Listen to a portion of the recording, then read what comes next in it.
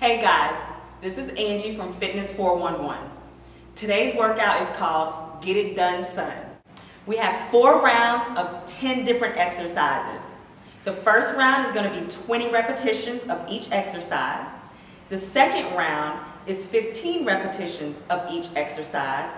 Then we're going to cut it down to 10 repetitions on the third round. And the last and final round is five reps.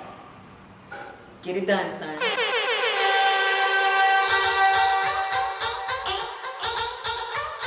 谢谢，谢谢，谢。